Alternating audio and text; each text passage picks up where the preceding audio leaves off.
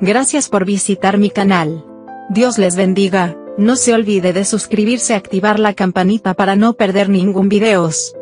Tenemos más videos de historias, noticias, y advertencias interesantes en la vida cotidiana.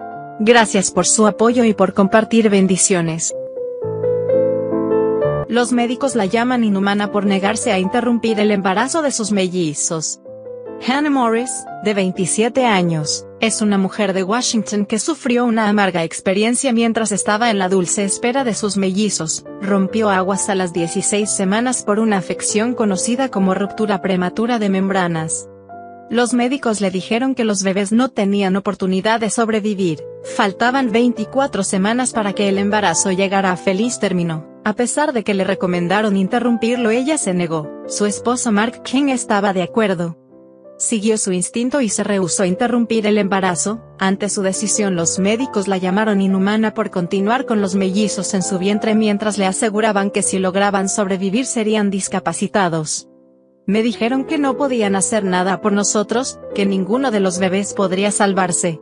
Me dijeron que tomara un medicamento para inducir el parto porque esa era mi única opción, relató Hannah. La madre permaneció en reposo absoluto durante semanas, y tomaba 8 litros de agua al día para evitar la pérdida de líquido amniótico. Finalmente, a las 34 semanas de embarazo dio a luz a George y Alice por medio de una cesárea.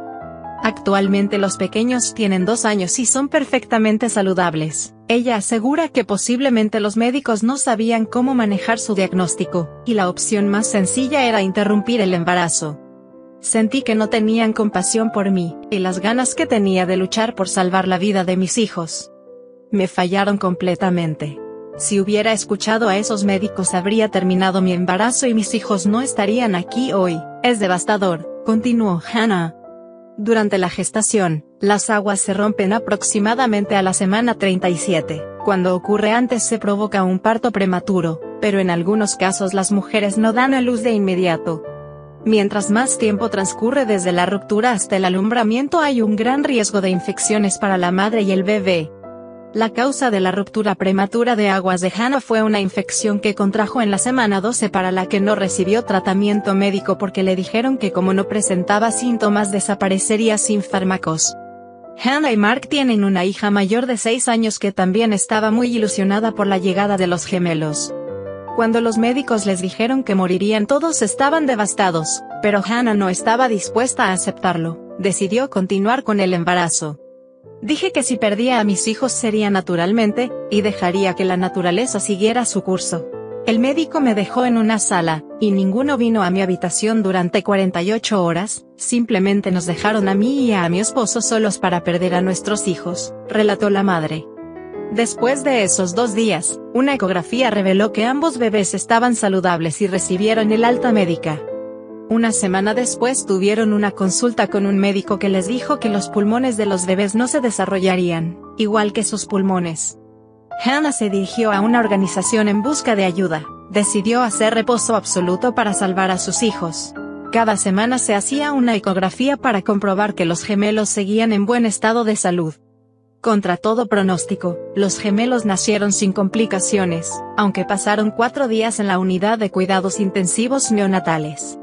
Alfie nació con una enfermedad cardíaca, y George tenía el sistema inmunológico debilitado. Pero actualmente gozan de un perfecto estado de salud. Hannah quiere difundir su caso para pedir mejor formación para los médicos ante la enfermedad que ella sufrió, y crear conciencia sobre las complicaciones que pueden producirse en el embarazo. Su objetivo es que otras madres con ruptura prematura de membranas sepan que la única opción no es interrumpir el embarazo, que a pesar de los riesgos muchos bebés logran sobrevivir. Comparte el testimonio de esta madre que puede ser la esperanza para muchas familias alrededor del mundo. Gracias por su tiempo y atención. Si tienes preguntas o dudas acerca de este video, puedes dejarnos sus comentarios. Gracias por compartir este video. Muchas bendiciones.